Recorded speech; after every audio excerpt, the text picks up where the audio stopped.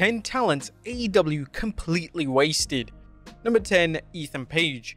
Ethan Page signed a three-year deal with AEW in 2021, and on the surface, Page should have been a huge star for the company. Page was and remains insanely charismatic, his in-ring work is excellent, and he has a recognizable brand that goes beyond AEW.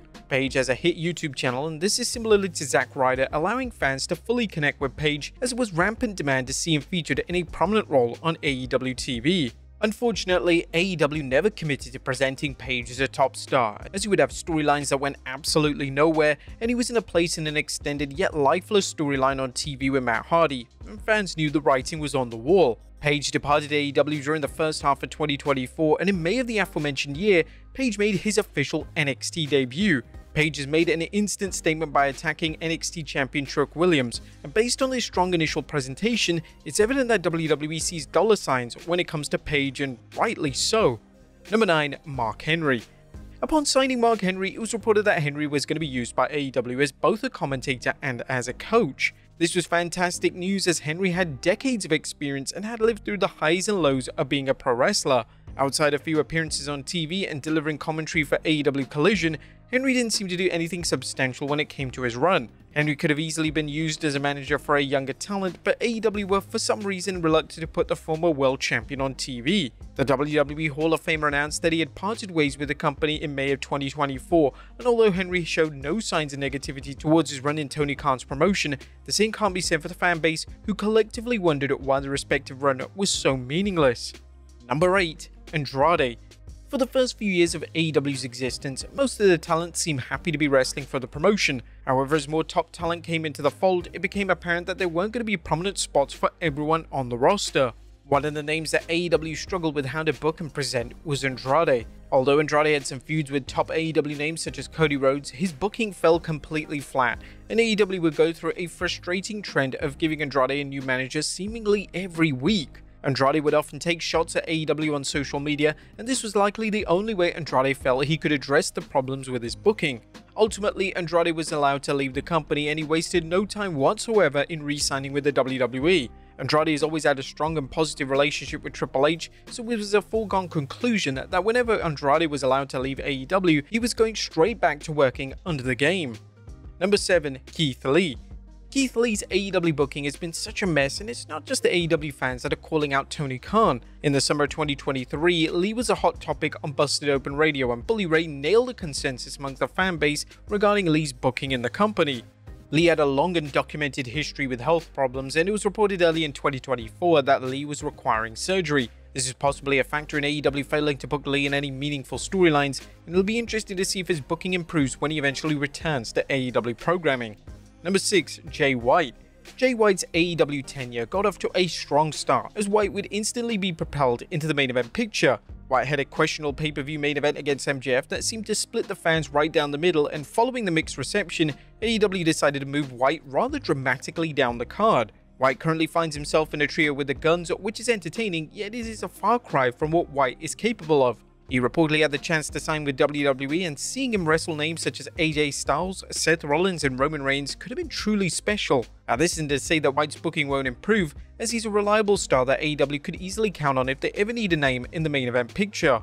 Number 5. Jake Hager when Jake Hager aka Jack Swagger signed with AEW, it gave the company another former WWE World Champion on their roster. Whilst Hager isn't exactly amongst the most elite former World Champions ever, he is somewhat credible and could easily be used in a featured role if booked correctly. For the past few years, Hager has done literally nothing in the company. He has lingered at the side of Chris Jericho and the only character development he's received has been him wearing a hat.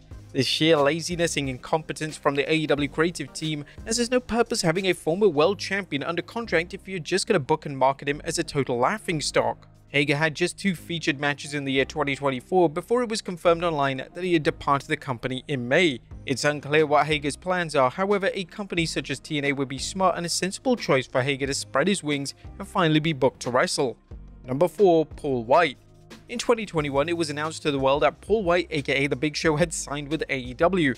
The wrestling legend was being brought in to deliver commentary, and it was also confirmed that Wight would be wrestling from time to time. Similarly to Mark Henry, Wight brought decades of experience with him to AEW and should have in theory been a perfect fit for the locker room. When the AEW Dark Elevation show ceased to exist in 2023, so did Wight's commentary duties. He has wrestled just a handful of times for the promotion, and the crazy thing is, Wight is undefeated in the company. That's right, Wight, despite being semi-retired, has won every single match he's competed in. The former WWE champion could easily be used to elevate a younger star, but this isn't what AEW are doing with him. Number 3. Jade Cargill Jade Cargill was pushed to the moon during a run in AEW, yet this hindered her growth and success. Cargill needed time to develop and grow and due to AEW rushing things, it led to Cargill being greatly exposed and AEW eventually losing Cargill to WWE. If AEW had just been patient and pegged Cargill with top names whilst allowing her to train in the background, they could have had a top female star that could carry the company for years to come. WWE have truly mastered the presentation of her, as they didn't book her to take a single bump until they were satisfied in what she could deliver. When Cargill was eventually deemed ready for the main roster, she worked closely with key players such as Naomi, Asuka, and Bianca Belair, and this has given Cargill every chance in the world to succeed at the highest level. Number 2. Jeff Hardy Whilst Jeff Hardy was way past his prime in 2022, it was still seen as a smart signing when AEW signed the charismatic Enigma. Hardy was still immensely popular with the fans and a run alongside Matt Hardy would make perfect business sense. Unfortunately, Hardy's return has been a total dud. It's not completely AEW's fault, as Hardy's in-ring work regressed considerably during his run, and the matches he had alongside Matt Hardy simply weren't at the level fans wanted.